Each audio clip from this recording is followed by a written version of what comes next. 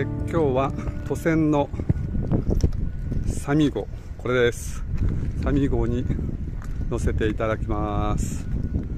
あじゃあ今からお客さん来ると思うので。はい、はい。私も一緒に同行させてください。あの気をつけて。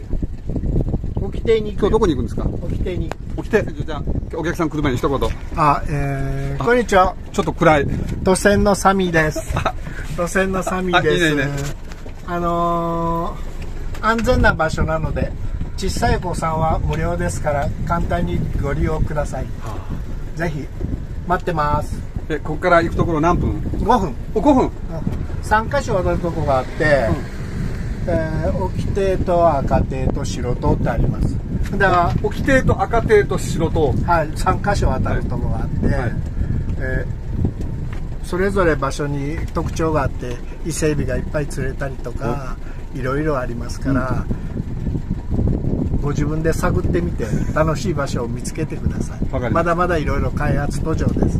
今日のお客さん何名ですか？今日のお客さんは、え2名だけお泊まりのお客さんです。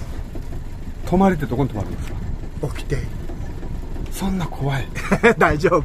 え？明日は波もないですから大丈夫です。あということで明日朝また迎えに行くのね。そうですそうです。今日行って今日帰るんじゃないの？今日行って。3時間ぐらいして。そうね今日はもう泊まりがいいみたい今ひ日中は暑いからね。夜そうやって頑張って釣るんですよ。はい。それはそれで楽しいみたいです。ありがとう。じゃあお客さん来るの待ちましょはい。うおぼらだね。では